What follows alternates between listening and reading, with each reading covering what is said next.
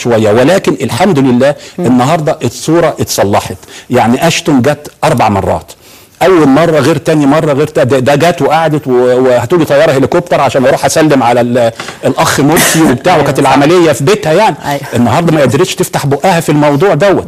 ولكن يعني ديفينتلي إن هم بدأوا إن هم يعني ينحازوا لينا أو ينحازوا للثورة. ولكن لسه برضو مش 100% يوم ما ينحازوا لينا 100% هتلاقي الموضوع كله. ليه؟ لأن بس معنى كلام حضرتك ده يا دكتور إن يعني إيه- ده دي إجابة سؤالي إنه سياسة الحكومات الغربية بتتدخل بشكل أو بآخر عندما تحذر رعاياها من آه، القدوم أو من زيارة آه، آه، مصر. بعيدا بقى عن الصورة الإعلامية النمطية اللي بتوصل للسائح أو للأوروبي وهو بيبقى خايف يجي أو ما يجيش لكن لما دولته تحذره بالتالي إن الموضوع بيبقى ليه آه، يعني. واقع تاني سلبي مختلف. أصل الكلام يعني مع- معروف واحد زائد واحد يساوي اتنين. سيادتك ادي تليفون لأي دولة أوروبية وشوف هيقولوا لك إيه.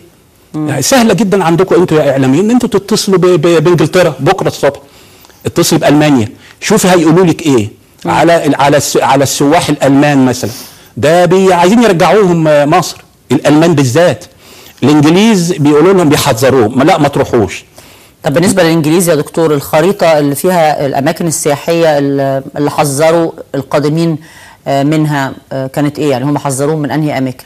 يعني مثلا لما هم يحذروا من سينا شمال سينا نقول ماشي نمشيها يعني. ولكن ده شمال سينا وجنوب سينا وشرم الشيخ والقاهرة والمش عارف مين. يعني في أماكن ما مش مش مفروض يعني تحذري فيها. يعني جنوب سيناء مستقرة. ما. جنوب سينا ده اللي إحنا بنقوله. جنوب سينا مستقرة لكن موجود مكتوب ما فيش داعي إنك تروحي. ولذلك لما تروحي سيادتك النهارده شرم الشيخ تلاقيها عمالة ترف يعني مفيش حاجة. فاضية. طب الق- القرارات دي آه، آه، اتغيرت أو ما اتغيرتش؟ يعني لو حضرتك في ذهنيا كده بما إنك متابعها بتكلم على السائح البريطاني على وجه الخصوص تقدر تعمل لها آه، جراف بياني كده؟ هل هي نزلت طلعت من 30 6 لحد دلوقتي؟ هل هي مفاجئة من وجهة نظرك؟ يعني اللي أنا بقوله إن الحكومة البريطانية بدأت تتعامل معانا معاملة آه، أكرم من الأول. وإحنا لازم برضو ندي كل ذي حق حقه اللي قام بالواجب في هذا الموضوع ال- ال- الملك عبد الله ملك السعودية. اتكلم معاهم لما كان في الكويت اتكلم مع اللي اسمه تميم دوت وفهمه وضعه بتاع قطر. واتكلم مع سياده الرئيس المصري. واتكلم مع اسمه إيه دوت آه، بتاع أمريكا لما راح له الرياض. وكلموا الاثنين مع بعض كلموا آه، ر- آه، رئاسة الوزارة في بريطانيا. وشدوا عليه جدا على رئيس الوزراء البريطاني إن الموضوع كده مش نافع. يعني أنت آه، كل العالم موجودين عندك. وخاصة الملك عبد الله قال لتميم حاجة من الاثنين يا تسلم الناس اللي عندك يا تمشيهم من عندك. فهو أنا هرجع أنا هرجع للنقطه دي يا دكتور بس عايز أقفل بس قصة السياحة آه، في سؤال واحد. آه لما كان في تفجيرات آه آه، قطارات آه لندن كان وضع لندن كمقصد سياحي إيه؟ أنا أنا شخصيا مش مش فاكرة يعني بس بما إن حضرتك عايش هناك. لا هو هو اللي حصل كان حصل في يوم واحد كان 7 7 2005 والبلد قفلت والسياحة فعلا آه، اتدمرت بس لمدة أسبوع. بس. أسبوع. ومفيش تحذير من دول تانية ما تروحوش لندن ما تعتبوش لندن مفيش. كان في كان في بعض من التحذيرات من دول أوروبية. ولكن التحذيرات دي ما قعدتش أكتر من ست سبعة أيام.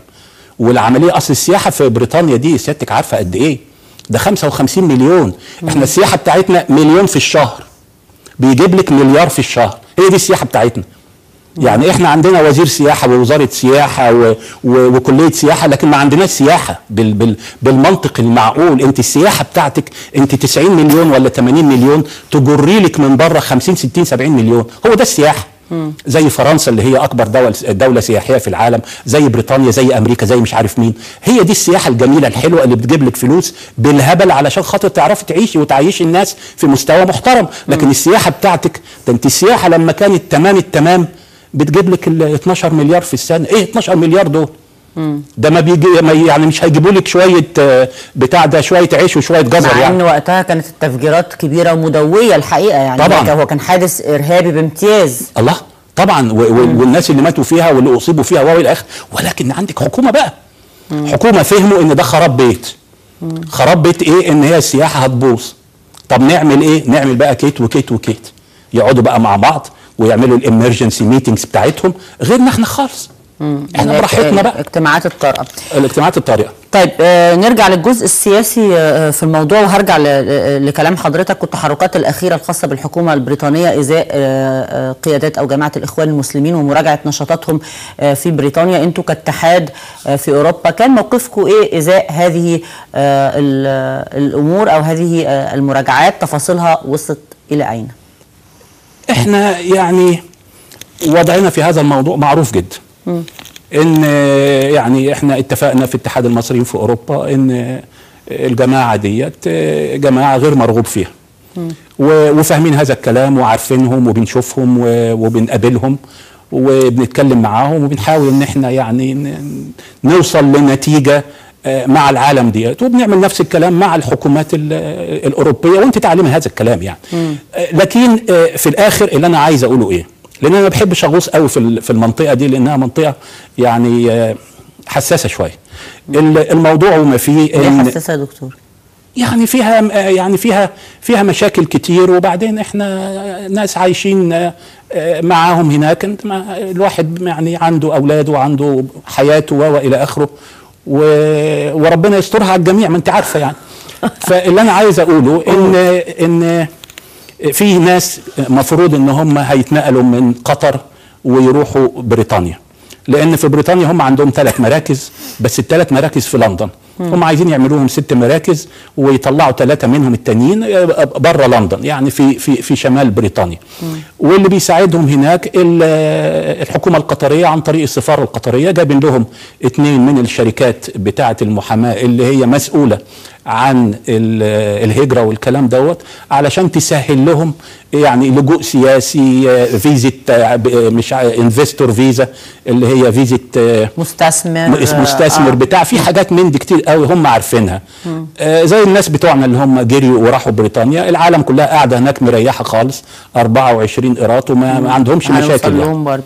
آه. طيب ال- ال- الحديث على إنه التنظيم الدولي لجماعة الإخوان المسلمين في ظل الأحداث ال- ال- المتلاحقة من قبل الحكومة ال- ال- البريطانية كان في كلام مش مؤكد بنسبة 100% إن هو ممكن أو هو اتنفى آه، يعني على لسان ال- الأمين العام لل- للتنظيم آه، إن هم ينقلوا نشاطهم أو جزء من نشاطهم إلى جراتس ال- النمساويه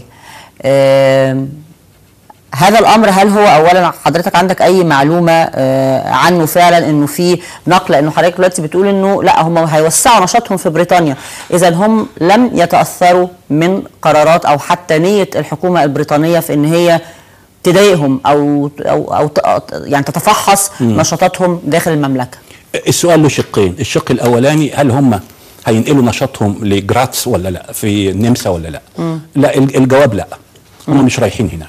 دي كانت آه، إشاعة وكان في ناس آه، أطلقوها لأسباب معينة. طيب. دي دي خلصنا منها. هم إيه قاعدين ومشرفين ومريحين. حكاية إن هم كانوا عايزين يعملوا الثلاث satellites التانيين أو الثلاث أماكن التانية بره لندن دوت كان قبل الحكومة البريطانية ما تقرر إن هي يعني تشوف إيه النظام بتاعهم. وعن في لجنة اتعملت النهارده برئاسه السفير البريطاني اللي موجود في الرياض. هو بي- بيرقصها يعني. فرئيس الوزارة في بريطانيا قال له شوف لنا الوضع إيه وشوف لنا الموضوع إيه والناس دي بتشتغل إزاي و إلى اخره.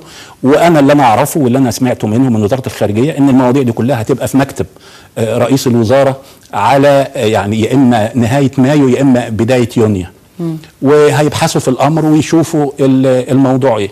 مصر آه، لماذا لم توقع من وجهة نظرك الحكومات المتعاقبة حتى لو كانت مؤقتة آه، لماذا لم توقع اتفاقية تسليم آه، مجرمين مع بريطانيا؟ بتكلم على بريطانيا على وجه الخصوص.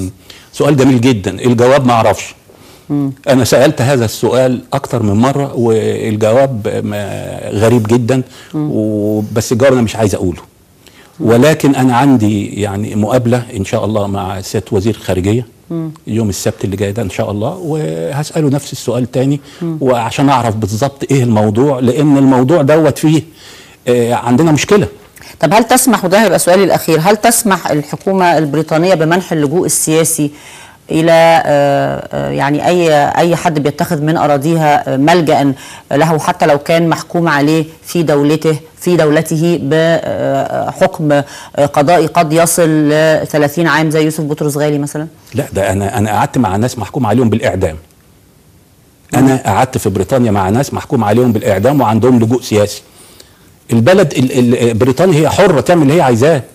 تقعد اللي هو عايزه وتمشي اللي عايزين يمشوه. ويدوم لجوء سياسي عادي كده ويدوهم زي ما. يدوهم. ويدوهم كمان شقة حلوة كويسة على التيمز ويدوهم فلوس ويهيصوهم. هم حرين دي ده دي دولة عظ- عظمى. ما بيسموا نفسهم دولة عظمى ليه؟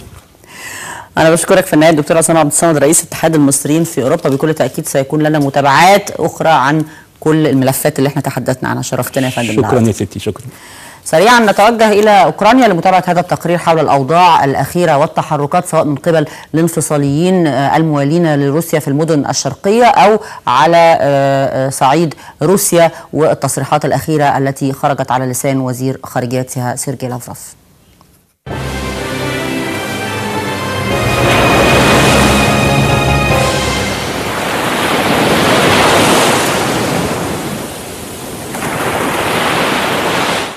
لا تزال الأوضاع تتجه نحو التصعيد في أوكرانيا مما يقلل من احتمالات التوصل إلى حل سياسي للأزمة خلال الاجتماع الرباعي غدا في جنيف.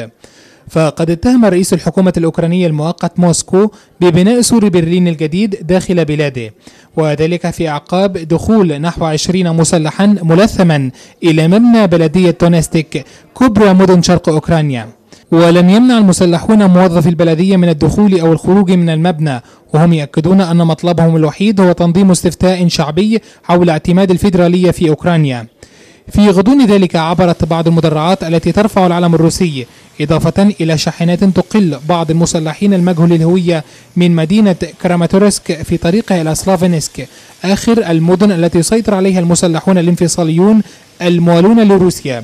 وذلك في سلسلة المدن التي طلبت بإنهاء النظام المركزي داخل أوكرانيا.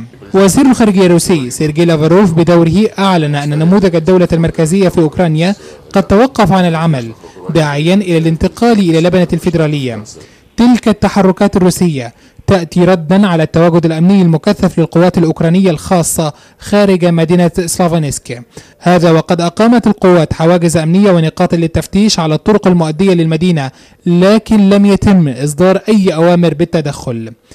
أما في داخل المدينة فقد تواصلت المظاهرات المناهضة للحكومة الأوكرانية المؤقتة خاصة بعد إلغائها للغة الروسية كلغة رسمية في البلاد. هذا وقد منعت إذاعة البرامج التلفزيونية بها أيضا. وقد رفض المتظاهرون أن يطلق عليهم لقب الانفصاليون مؤكدين دعمهم للنظام الفيدرالي داخل أوكرانيا.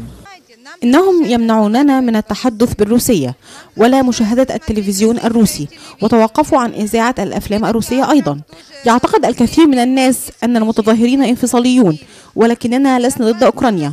نحن نريد أوكرانيا متحدة مثلما كانت من قبل. كان الرئيس الأوكراني قد أعلن إمكانية تنظيم استفتاء وطني حول نظام البلاد بالتزامن مع الانتخابات الرئاسية المقرر عقدها في يوم الخامس والعشرين من مايو في محاولة للخفض من حدة التوتر المتصاعد شرق أوكرانيا.